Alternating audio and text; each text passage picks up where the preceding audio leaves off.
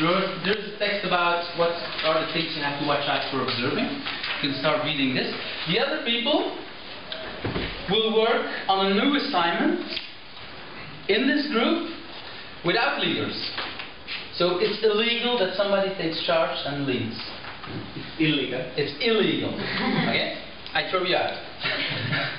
and you have 10 minutes for a meeting with everybody else to decide how you will build it.